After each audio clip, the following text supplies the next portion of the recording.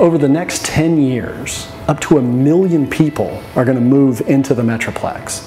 That's roughly the city of San Antonio being placed inside Dallas Fort Worth. You can't pretend that we don't need new infrastructure to deal with that kind of growth. It's going to take really smart investments in how we move ourselves around. That's in roads, it could be rail, it could be buses. Otherwise, we're going to find ourselves in gridlock. We're going to have to do the smart thing with water. We took a good first step, but we have to stay vigilant.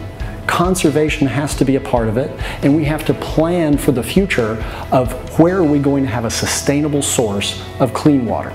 What I really want to bring to this race is somebody who speaks for where we're going, how we want to get there, and what the future should look like for Texas.